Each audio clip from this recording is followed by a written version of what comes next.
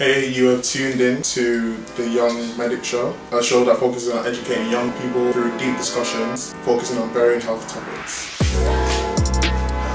You look like you like ten plus. All right, cool. The same area or maybe the same color or ethnicity. Hey, you are tuned in to the Young Medic Show, a show dedicated to educating young people about their health and well-being through deep discussions through varying health topics. My name is Joshua. I am a second year medical biochemistry student and I'm going to be the moderator for this conversation and I'm going to be joined by two medics which are Hi guys, my name is Divas and I am a second year medical student at the University of Southampton. Uh, hello, my name is Khalil and I'm a third year medical student at the University of Leeds. Okay, and today's topic is sexual health, relating around sexual diseases specifically. Um, to today's show, we're going to be covering a lot of things like the facts about the most common disease, um, sexual transmitted diseases, as well as we're going to have a guest come on talking about how they have their experience with sexual health and how they've been tested and what experiences they've gone through maintaining their sexual health. And we will also be doing some myth busting for you guys, um, whatever myths that you guys believe in. Um, we know there's a lot of myths surrounding sexual health, so we will myth bust that for you guys and provide you with a lot of information. So please listen in. So sexual health. Go.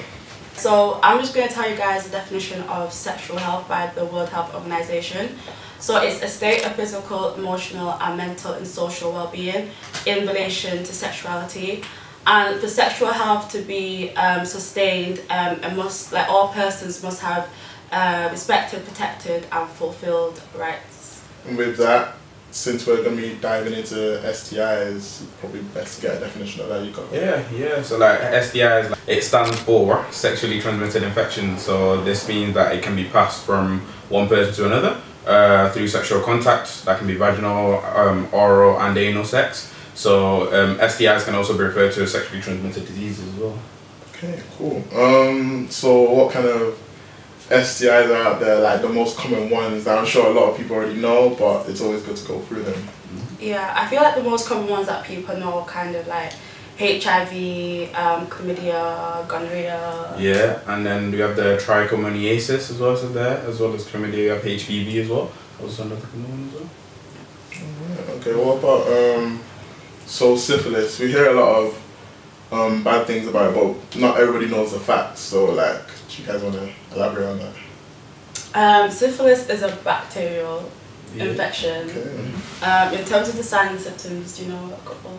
Yeah, some of the signs and symptoms given here. So like some of the signs and symptoms include like small painless sores or ulcers. So that typically appear in the penis, vagina, or around the anus, but they can occur in other places as well, such as the mouth.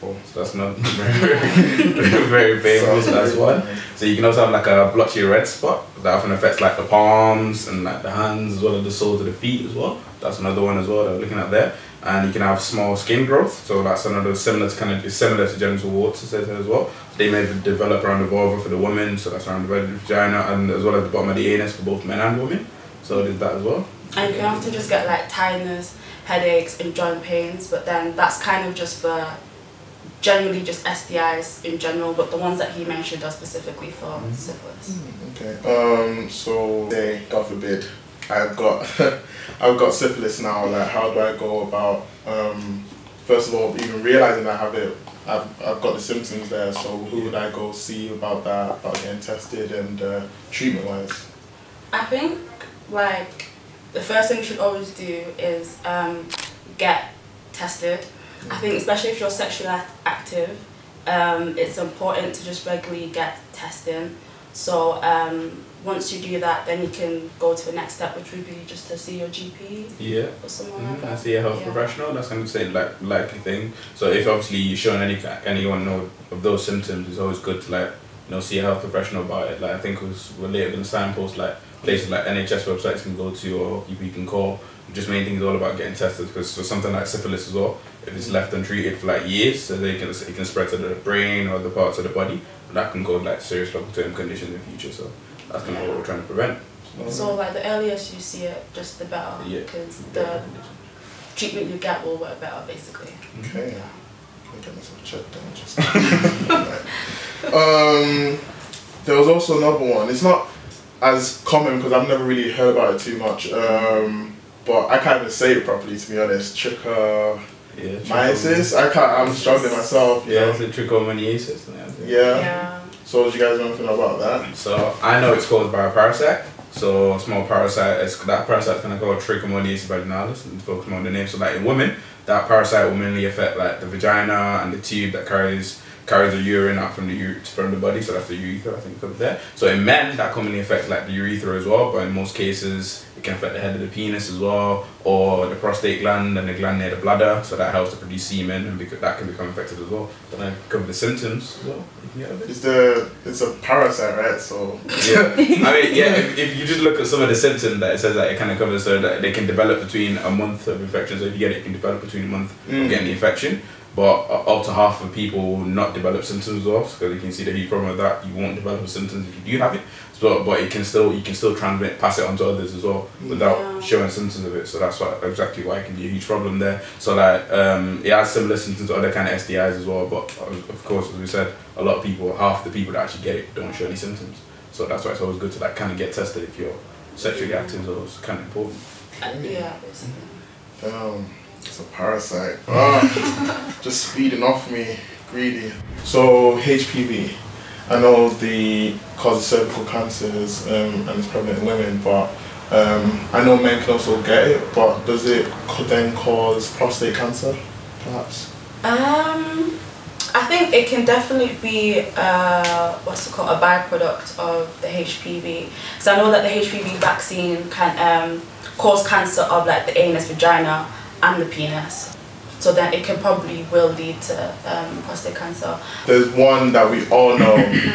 um, it's been really going through us. Like we've always been told how bad it is from young, um, and that is HIV, and then it leads on to AIDS, right? Yeah. So, like, what can you tell me? What do you go through as a HIV patient? Mm, HIV just of understand this like stands for human immunodeficiency virus. So like it's just like it damages the cells in your immune system, and like that weakens your ability to kind of fight everyday infections. So therefore, if you like get another kind of infection along the way, if you do have HIV, it's it's hard for your body to kind of fight off because obviously you have a weakened immune system. So looking at that, okay, you can also AIDS is another name for it, which is kind of known as acquired immune deficiency syndrome. So that's kind of like that's the name used to describe it. If it's like life threatening um, uh, infections and illnesses, so that happen when your immune system has been severely damaged by HIV. So you have HIV first. That's kind of like natural name for it when you do get it. But then AIDS is kind of like what you then call it if it then becomes life threatening and your, the HIV has completely like destroyed your immune system. So like one other kind of infection, and like that's kind of it. That's also another kind of Yeah. infection. Also, HIV is more common, and um, so um, sex between men, like males, male to male. Um, it's also higher in people of um, Black African descent, and um, what else? It's um, also caused by again like sharing needles, syringes, and that type of stuff. That's probably why it's so. Um, like you know, you always of HIV, like especially in Africa, just because we are um, most likely to get affected by it. Yeah. So it just kind of means that like, there's currently no cure for HIV. So that's Yeah. another key one to see. Like there's currently like there's treatment they can have to and, like help you manage it, manage the condition, help you live like a long and healthy life if you do get it. But currently right now there's no cure for it. But like I said before when I was talking about the difference between HIV and AIDS, so like the thing is with AIDS, because AIDS you can't transmit that to another person, but you can transmit HIV to another person if that makes sense. So Yeah.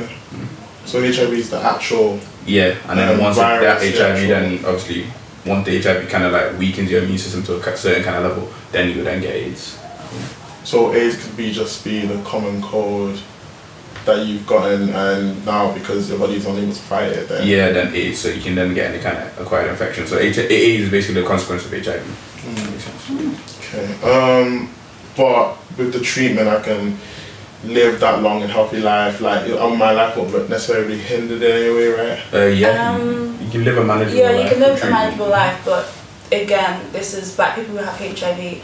It's very important that you know they're not um, like like they don't put themselves in any kind of like harm's way. For example, like um, like they can't really like if you have a cold like it'd be dangerous to them just to be around someone even like a like a common cold because um, like I said their immune system is so weakened that that could potentially kill them. So um, you can live a manageable life like through the help of treatment but at the same time you have to safeguard yourself because um, your immune system is a lot weaker. Uh, okay, so taking all this information on board obviously is a lot for me.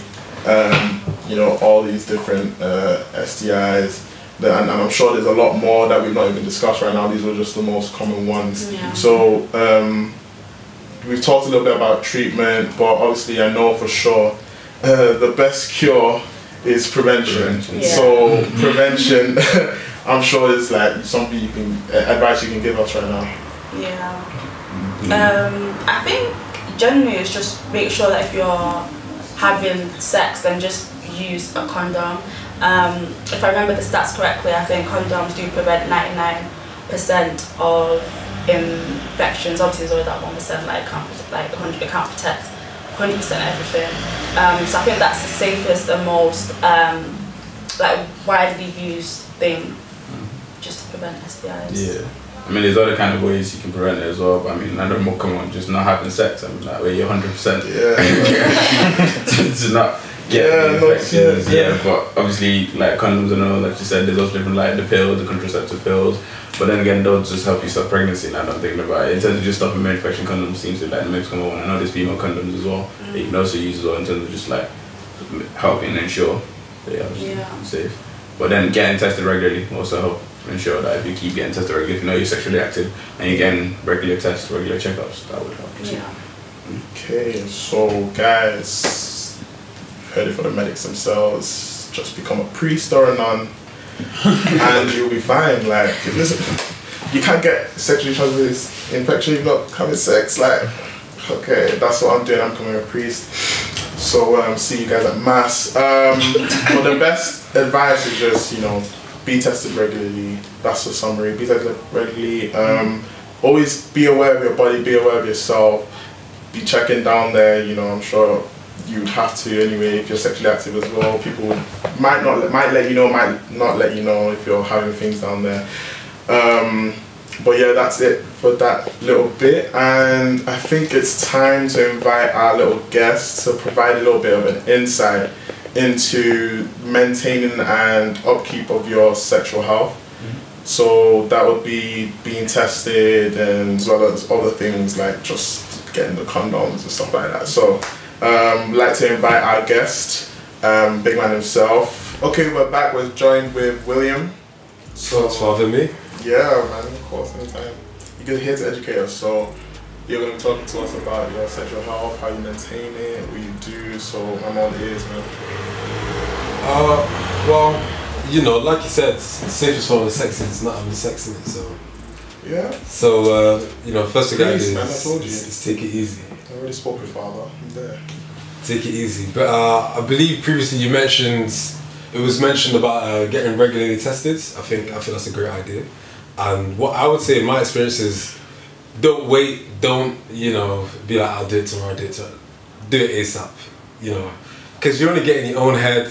You only you know get you, you get all paranoid and and and what I think people forget is some of these are actually symptomless. So if you've had sex with a new person or you've, you know, didn't have a condom and you couldn't control yourself, uh, I, I would I would advise go go get tested. If you don't want to, you know, do the whole process and, and go meet with a clinician, they have DIY test kits. You know, you just do some blood uh, blood samples and and a urine sample, and uh, yeah, like you should be all right. And another thing, I feel like I remember now. Uh, but, uh, Be, uh, make sure your partner as well, like you know, have that open, honest communication with whoever you're with. That you know, especially if you've had something, I think everyone has the right to know. Them kind of vibes, but yeah, like. Of course, of course, can't be lying to people, can we? Um, so like personally, then have you been tested? Uh, I have been tested a couple of times. I've done a DIY one, and I've also done the one in the uh, clinic. And I'd say go to the clinic. You know, Oh, you have so a professional. they look after you. They, you know, They look after you. Are they looking after you, bro? huh? Uh, because it can be a bit daunting, especially if you if you felt like you was at risk. Like, Oh, okay. and you know, there's no shame. You know, there's nothing wrong with having sex. There's nothing wrong with enjoying your life, but you know, don't be like I don't know, like hesitant Yeah. to keep yourself. It is your health Yeah. at the end of the day, you know. You would go in happily with a flu or anything you can go, you would go in, but these are the same things just going on down there. So I feel like society is just what's um, exaggerated and made you feel so insecure about going to the clinic. So it's just just go um, get checked. You feel better when they tell you you got nothing in it. Like and even if Exactly. exactly you feel It's a so great when that text feel message good, comes through saying your results have come through clear. It's like it's negative in it. They say if it's if you don't have an STI, it should, say it should um, be negative. yeah. Um, Yeah. yeah. So for once, negativity is a good thing. Um, And tell your parents. now I know that's a sticky one, especially in certain households. But it's like you know if you pick up something. And you know, and it might be something a bit like more fatal, or it makes you infertile, or something like that. You know, oh. Be- better be open, honest, you know, and you don't have awkward conversations five, ten years in So I did so tell your parents like if you do have the condition. Like, Yes. Yeah. Cool. cool. That's what I'll say. I, I feel even if you just got tested now, or you're just worried about it, I don't know. But I know everyone's relationship with their parents is different. If not, if not your parent, just speak to like your close friends, friends, like your close girls, your close guy friends, just whoever you can trust, really. Yeah. yeah. So yeah. So e- once you get that text message, you're free. You can you feel on top of the world. Everything fine. Even if you are positive, there's support there for you. There's Yeah. treatments there. Um, you will be fine. So Yeah. You will be fine. Uh, Uh, with, with a lot of these as well, like the earlier you know and the sooner you get the treatment, a lot of them can be cured. Like syphilis and, and like uh, the HPV and stuff like that. Mm. If you get the treatment like ASAP, ASAP before they develop, then you're alright. But like syphilis part, if if you let that one develop, no, it's it's, it's game over. Like Yeah. it makes you infertile. Like you can even pass it on to your children. Like if a woman has it, her child can be born with syphilis. Syphilis moves into the brain as well. It can affect the brain as well. Meninges around the brain. So damn. But it's treatable with penicillin on the early stages. So get tested regularly. You know, make sure you're on top of it. Okay. All right. Um, but also like your experience. So like, would you like walk us through? So you going getting tested, what what you went through, um, just what happened, so people can get an idea and maybe it's less daunting for them, since they know what's coming. All right. So it's like obviously different clinics open at different times. The one I went to was one that's open really really early. So you you go in there. They'll ask you like, do you have symptoms or are you just coming for like a general checkup kind of thing? If you have symptoms, you kind of like prioritized. Uh, and then you're given the option either you want to do a DIY kit or do you want to uh, see the clinician. I'd personally advise see the clinician. It's just a lot easier. You have someone to, to make sure the tests are you know done properly and stuff. And you know you wait. That wait can be quite nervous because you're like, oh, what's wrong with you? What's wrong? And then you go into the room. You know they take your blood sample. You do the urine test. Week or so, two weeks later, they come back to you with your with your with your results. Now, if you've got something, they call you. So Oh, you know, if you get a if you get a phone call, you know, you got a problem. then yeah. But overall, I would not that two weeks between when you done your test and when the results came out. I would not stress about it because it was a very cool quote I heard on the podcast a, few, a couple of years ago, and it's like. Even if the results don't go the way that you wanted, you was not upset twice. You know, so at least during the time when you don't know, just you know, don't stress out about it. And then if it is the case, then move from there instead of stressing and then stressing again. Like, Yeah. Makes sense. Makes sense. And just out of curiosity, like between the test or the all of that was free, wasn't it? yeah, Like, all over- free, Yeah. all free. Thank you, British government. So the general rule, just with upkeep and maintaining sexual health, just be checked regularly, um, especially if you're very sexually active. So, and you can get a new partner as well and you don't need a condom, Yeah. just check. They do, they do uh, what's it? What's the looking for? Um, recommend. Yeah. Every new partner, you you should go get checked. Okay. Because a condom is 100%, right? So, okay. Um, we will now be going on to myth busting because obviously there's a lot of misconceptions that people have with sex, and there's a lot of things society will tell you, your friends will tell you, your boys, your girls will tell you that is true, but it actually isn't, and it's best to have the right information and not be have fear for no reason, but also fear the right things, you know. Yeah, yeah. So I want you guys to let me know. Okay. Well, a myth is that you can't get STIs through oral sex, which is false. Um, so basically, there's less of a chance of you getting an STI through oral, oral sex, but some um, um, infections such as um, syphilis and gonorrhea are actually more you're more likely to get through um, oral sex. So, like I said before, it's just best just to always use a condom. And um, if you are like performing like um, oral sex, then you can use a dam, which is a thin piece of fabric that you can use to cover your genitals, which through that way you can also protect yourself from getting any infections.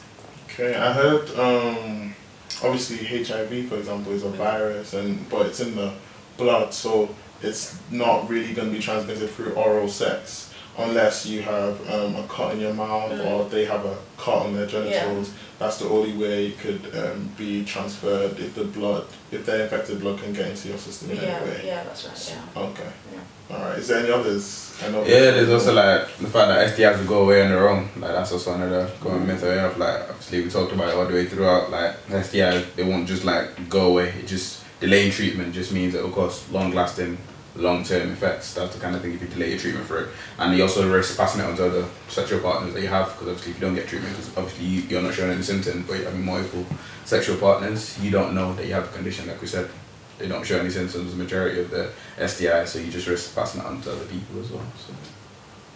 Okay, so just be checked regularly and Yeah, just if be you on have top of regular it. sexual partners, then yeah, that's one way to go.